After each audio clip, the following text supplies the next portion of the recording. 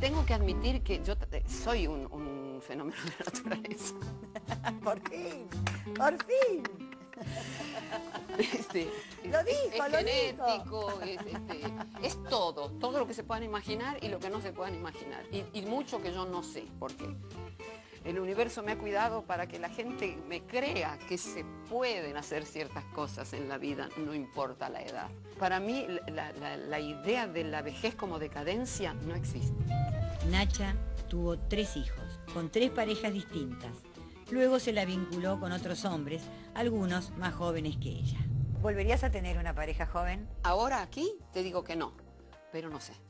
Y ese que no, ¿por qué? Digamos, ¿qué nos dejó la juventud? ¿Qué No, la juventud tiene cosas maravillosas, pero hay una, hay una diferencia de experiencias.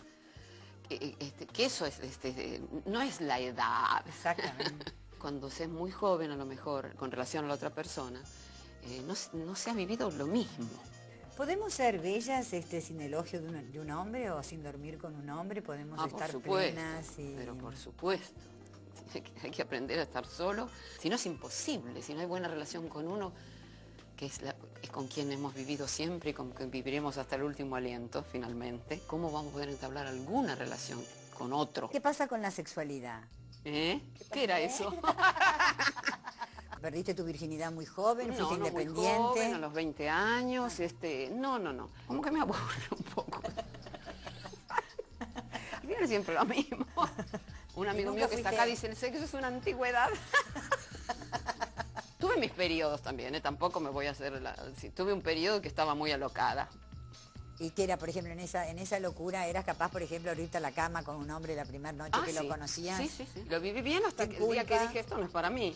Exacto. En el momento en que me descubrí haciendo siempre lo mismo para seducir al otro, dije, ah, no, esto a mí no me gusta, no, no, no, yo no me puedo repetir así. Y ahí se terminó. Nacha Guevara participó de más de 15 películas, editó más de 20 discos y protagonizó innumerables obras de teatro en América y Europa. Hoy vuelve a ser Evita, reestrenando 22 años más tarde aquella misma obra que la hizo legendaria.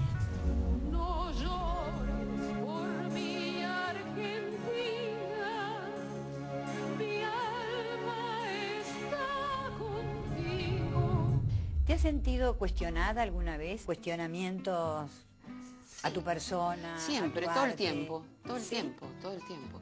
Yo soy como soy. Y ser como soy me ha traído hasta donde estoy. Y me gusta donde estoy. Y no voy a cambiar. Un tiempo después, Nacha, de aquellos 60, eh, ¿cómo está Nacha hoy? ¿He madurado? Sí, espero que sí. ¿He crecido? Espero que sí. Eh, pero no soy yo la persona para decir eso. Estoy demasiado involucrada. Muchas gracias, Nacho. No, a vos.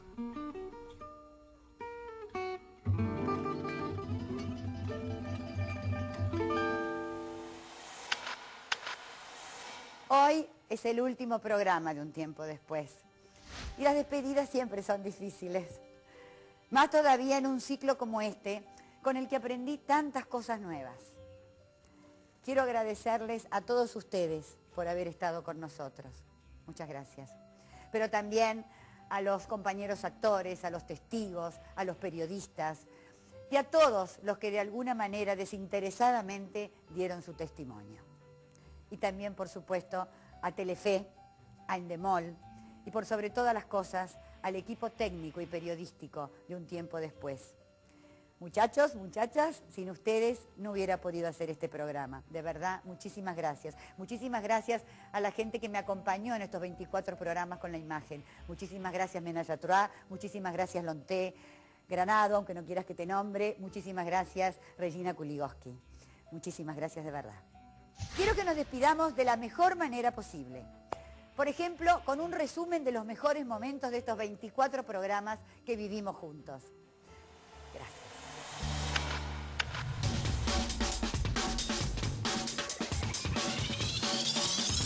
Un tiempo después parece que hubieran pasado años. La intensidad de este ciclo me permitió vivir cosas que jamás había imaginado vivir.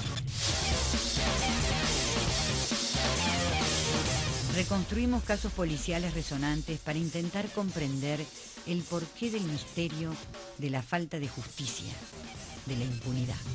Entonces la monja me dijo, sí, que sabía que era un crimen, que sabían quién lo había cometido y demás, pero que... ¿Sabían? Sí, sí, que sabían que era un crimen. Le pregunté quién era, no se lo vamos a decir, usted se tiene que resignar como buen católico. Entramos a varias cárceles buscando entender la locura y la pasión de crímenes inexplicables que nos quedaron marcados en la memoria. ¿Hay un arrepentimiento? Sí, ¿Te dirigís cada tanto a, a Milagros? todas las noches. Le pido perdón a ella por lo que hice. Desde el aire pude ver las últimas imágenes de un viaje siempre sospechado. Esto es volar a la altura de los planos. Ay, mi Dios querido. Esto es la altura que tenés que volar para tragarte el cable. Acá lo ves, paralelo a la ruta. Vos viste la altura de los cables. Íbamos a la altura para tragarnos un cable. y comprobar cómo se produjo la tragedia aérea más controvertida de la Argentina. ¿Sentiste esa alarma? Sí. En el 737 200 sonaba tu, tu, tu y no paraba, no paraba, no paraba. Un tiempo después nos permitió ser espectadores privilegiados de los últimos momentos de la vida de grandes ídolos. Y entonces él viene acá y se pone a caballito. La Sí, y el la pierna. No lo hagas. No, no, bueno, perdón. No lo hagas. y entrar por primera vez al cuartel donde escondieron al último Colima. ¿Lo bailaste a Carrasco? Sí, junto con el resto de los soldados. ¿Cuántas veces?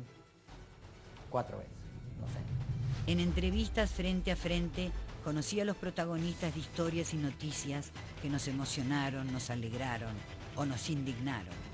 Escuché terribles confesiones.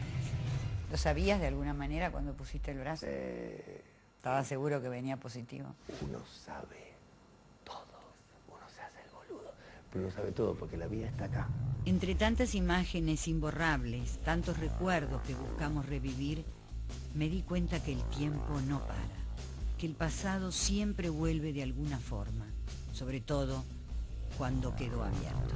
Chacho, ¿hubo coimas en el Senado? Sí.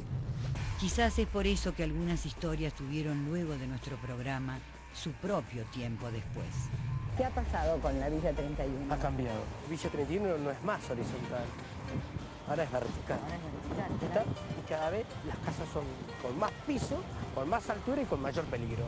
La Villa 31, con 70 años de historia, hoy de vuelta es noticia, porque sus habitantes piden la urbanización.